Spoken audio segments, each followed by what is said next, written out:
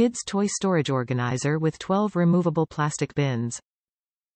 Ideal for a child's bedroom or playroom. Store toys, games, art supplies and more.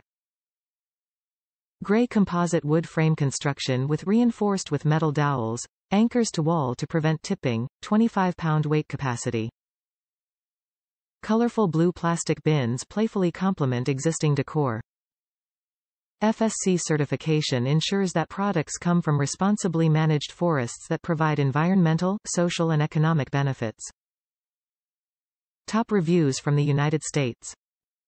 Easy to assemble. I liked how easy it was to assemble. My two and a half year old loves it so far. It's about as tall as her. It goes with my other gray toddler furniture in her room.